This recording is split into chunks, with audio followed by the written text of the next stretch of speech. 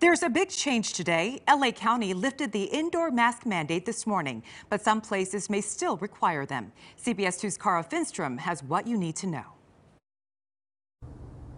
Starting today, folks in LA County are going to notice a lot of changes with many businesses from theaters to restaurants to gyms no longer requiring folks to mask up inside. Especially when you're doing cardio or you're doing heavy lifting, eh, it's hard to breathe. 24 hour fitness members who took off their masks while pumping up told us they're relieved LA County just passed a masking milestone. They shut down the gyms, they reopen them, shut them down. And now that I'm able to take out a mask, I feel like there's some progress.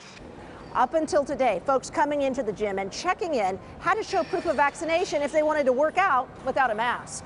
But under LA County's new modified order, which the gym is adopting, indoor masking is no longer required, vaccinated or not. County leaders are instead strongly recommending it, particularly in crowded areas. I think that I'm going to continue probably to wear my mask in certain places. Indoor masking will remain a requirement for everyone in certain high risk settings like airports and healthcare facilities. And the mandate will stay in place in state schools and childcare facilities through March 12th. After that, school districts can opt to keep the precaution. LA Unified is expected to do so through the end of the school year.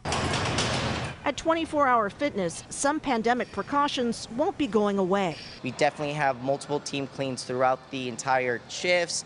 Every 20 to 30 minutes, we're wiping down equipment. But with COVID transmissions and hospitalizations dropping and mandates easing, the business is making an important change.